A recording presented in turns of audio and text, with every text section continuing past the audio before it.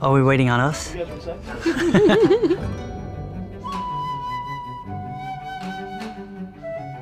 Gazing across the bonsai at Mary Mouser.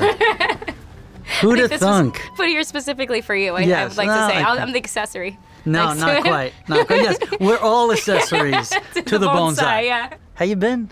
I've been good. Good? I've been good. Yeah, I- Enjoying a little bit of a break from season five? sort of. I like to keep myself somewhat busy, so I'm still trying to train and and stay in fighting shape. Okay, that makes one of us. No, not true. um, I'm, I'm training as well. It takes too long to get back in. Yeah. Uh, I used to be able to snap right back in. now things just snap. um, where you've gone from season one to this point in the martial arts, amazing. Amazing. And I'm so glad the cameras got that because that's from the Karate Kid, and Yeah. I want that for myself for the Okay. rest of my life. I want to own that moment. Well, it was, you know, hey, listen, it's proud fake dad. What can I tell you? What No, can I it's, tell you? it's Really, been you so much fun. I mean, I you saw me season one. I couldn't. It took two hours to teach me how to do one hook kick. Right. And then now it's now it's a it's a Yeah, hobby. no, it's you're fun. a beast. You're making us all look look bad. You know, it certainly was easier back in the day for me Yeah. to do all that stuff. You guys had a Um, lot of training leading up to the films, though, right? Yeah, for the film, for the Karate Kid, we probably trained six solid weeks. Wow. And then throughout the film, we would rehearse, and John Avildsen, our director, would always, you know, more and more and more, faster, better.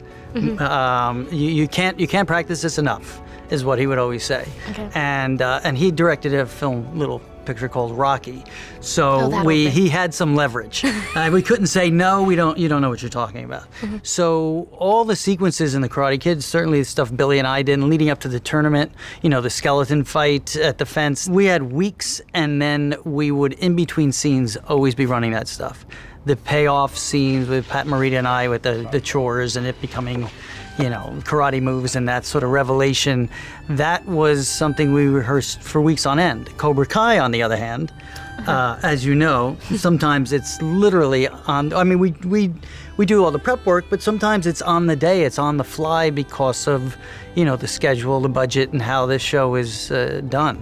How's that been for you? I mean, I have a lot of fun with it. I love as much, you know, prep time as, as humanly possible. So that's what I was going to ask is, you know, we get to train those kind of those first couple of episodes. I feel like we usually get the most. You know, we get all that time to prepare before going into a season, and then we get the fights for like episodes. Usually, what is it like three? We kind of mm-hmm. like start off with our first like karate beats, and like two or three, you get more into it in four, and then you get the mid season in five. And I feel like all of that we get that like lead in time to mm-hmm. practice. By the time we get to those episode nine and ten fights, Oh where it really God. counts, we are jamming through, you know, all the rest of it. I think that's the the skill that I've picked up on top of the martial arts from this show is really just having to let go of that inner voice in my head that's like, do you know what you're supposed to do next? And Right. really just having to trust my body to like, there is a fist coming at my head. Yeah, Better that's duck. right. That's, right. That's the toughest. That's the biggest difference. Yeah. Is when you have that time and it becomes a ballet that it's the the moves are in your body. Mm-hmm. You know, I mean, Billy and I always talk about back in the day we barely touched each other because it was all precision work from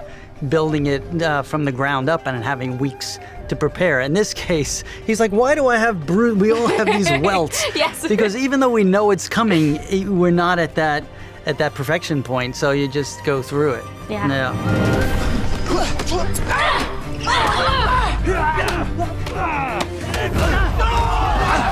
I love the stunts. I gush about it. Do Mm-hmm. you have a favorite? And does it go all the way back to, to the originals? Uh, Well, Or- listen, they were easier to do when I was younger. Listen, everyone talks about the crane kick.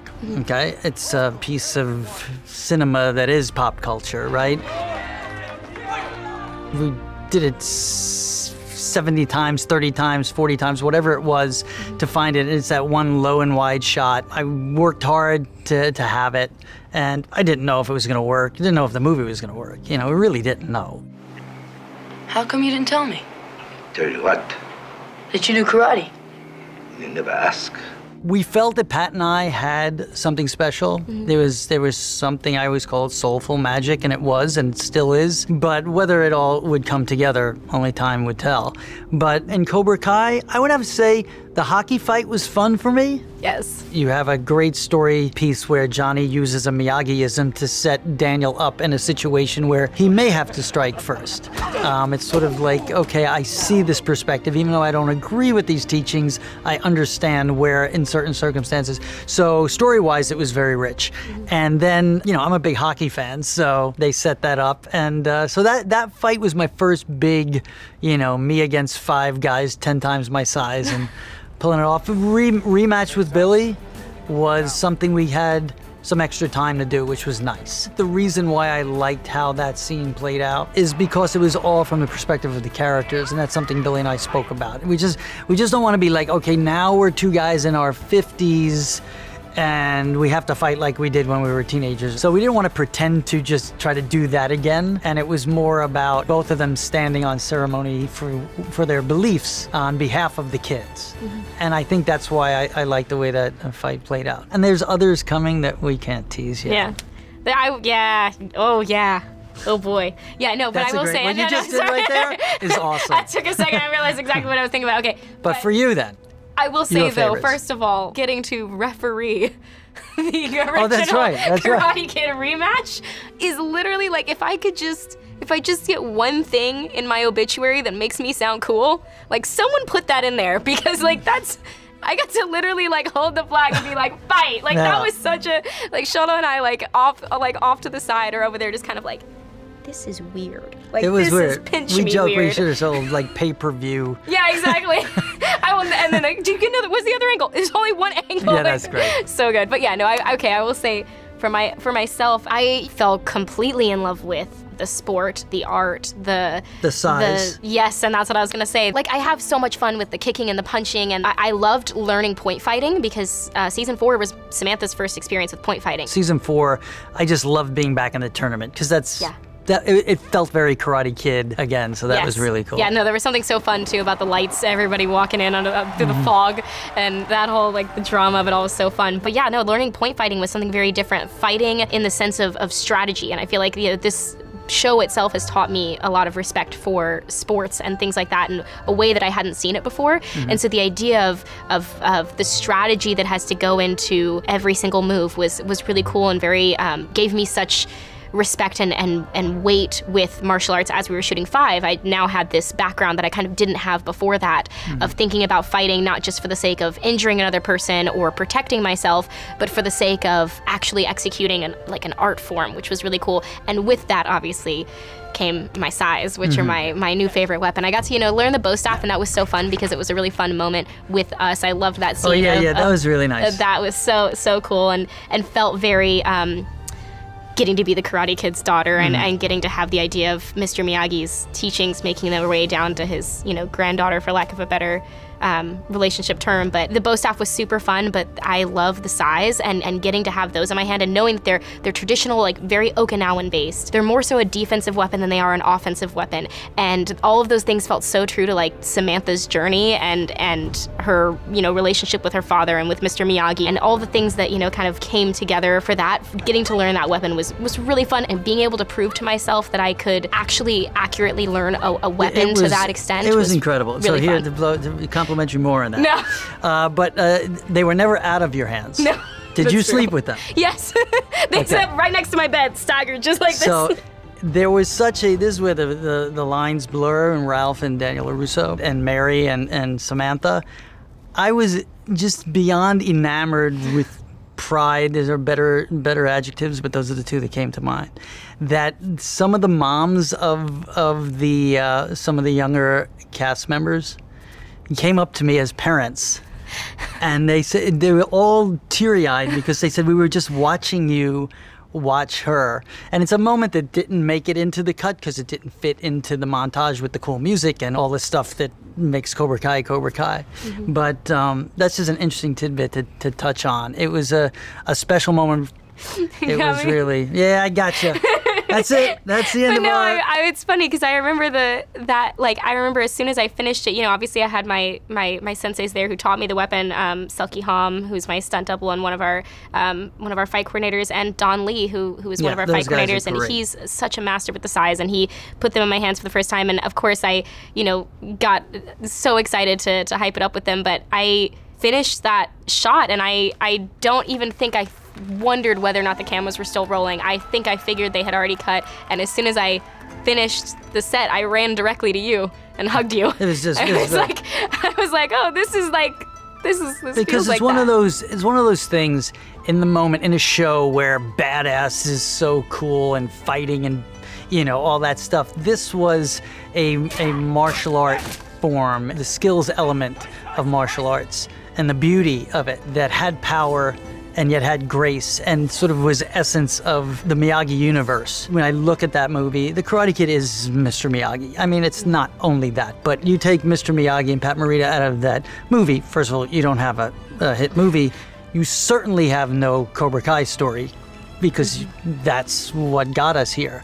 So all that stuff without overthinking it is all subliminal to me in, in those moments. So that that was a special one. That'll live on. That'll live on. That's one of those too. Like sitting in bed, I'm like feeling bad about myself. I'm like, but there was that, that. one time. I there was that. that. one time I was cool. That's right. It's- it's been quite amazing. It's been quite amazing everyone's arc. The the concept that we have we have shot season five to this point, and the journey of this show built off the you know the source material or the legacy uh, original. For me, it's a mind trip. It's Yeah. just crazy. But to see everyone blowing up from it and and and all ages enjoying it and revisiting and and going back to the movies, it's it's quite special and unique. There are, are few examples of that, I think. Now, so how does that feel for you as this, you know, the young, awesome generation? I mean, I, I always talk about this the other day. Like, funny enough, I mean, the room we're sitting in right now is just what a few yards away from where I very first met you, which Yes. was another situation like this. Or sitting across Better from each other. here. yeah, Definitely. my my final chemistry read for for Cobra Kai, and it was I remember sitting into that room. I met you for the first time, and we were told almost the same thing. Just basically talk. Like, what did they say? Shoot the breeze. And I didn't Mm-hmm. Shoot know the what the breeze. phrase, I lo- what the phrase meant. I said I had to explain. yeah. Had to explain- he That's teased me about it, but uh, but yeah, no, I mean it's it's crazy to think from that moment. I remember meeting you. I was very, I was nervous. I was in, I was intimidated by, because I was like, oh, I get to Because I'm someone told you Well, of a movie I was in well, no, that has no, something to do with. I was like, this is this is the name that that Samantha carries. This is the you know the the weight on on her shoulders. But but at the same time, I knew I was being hired to be the Karate Kid's daughter, and I knew I was being hired to be the next generation Karate Kid's girlfriend. And that's basically all I knew of season one. And Hmm. and so I had no concept that I would one day be doing karate. As the Right, Karate that- Kid's daughter, Exactly. So it, it like the the weight of that changed very much between seasons one and two. Where one I was like begging, like, "Hey, can I throw like one kick? It'd be really cool." And then like all of a sudden was like, "This is a lot to live up to. This is a mm-hmm. lot to carry." But it's it's been so much fun, and I love getting to meet the people. I feel like we're in that, like you said, that perfect fan base range where like I'm meeting like teens who would watch this show the way that I would watch this show, and I'm like, oh my gosh, like the high school drama and the martial arts and like all the cool of that. And then the parents that I meet who are like, I can't tell you what this film has meant to me my whole life. And then the kids that I meet now that are watching it that are now Karate Kid fans. Right. It's so cool. Yeah, that is that is you know when I spoke before about what's so unique and special about it is one of those few pieces of entertainment that connects nostalgia with relevance. You know, your your couch is like your your 12 year old kid and your the babysitter and the parent and the grandparent, and they all coming from a different vantage point and prism and perspective of the story.